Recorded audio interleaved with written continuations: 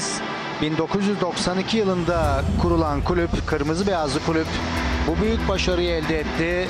Final maçında Alanya Kesteli, Armoni Alanya Kestel Sporu 2-1 mağlup ettiler ve kupa seremonisi bir yandan devam ediyor.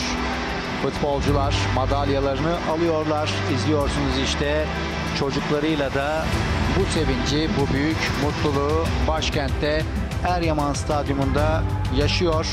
Karaman Futbol Kulübü oyuncuları. Evet ilk yarıda gelen goller vardı Karaman Futbol Kulübü adına. 35 Ahmet Teker, 42 Akın takımlarının gollerini attılar. İkinci yarı biraz daha oyunu geride kabullendi Karaman temsilcisi.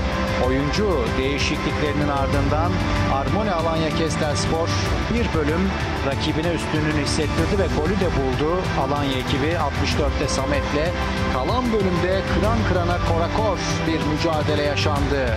Gerçekten final maçında ama skor avantajını korumayı bildi. Son dakikalara kadar Karaman Futbol Kulübü ve Ali Şansalan'ın son düdük sesi geldiğinde Ali Şansalan'dan gülen tarafta Karaman Futbol Kulübü olmuştu. Sezon içerisinde rakibiyle iki kez karşılaşan Karaman Futbol Kulübü rakibini mağlup edememişti. İki maçta da taraflar yenişememişlerdi.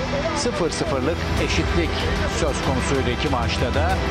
Ama bugün bu önemli finalde Karaman Futbol Kulübü rakibini ilk kez mağlup etti ama o işte ilk galibiyet önem olarak çok değerliydi ve ikinci ligde oynama hakkı elde etti Karaman Futbol Kulübü. Bir kez daha kendilerini tebrik ediyoruz ama Armoni Alanya Kestel Sporlu futbolcuları da tabii tebrik etmek lazım. Onlara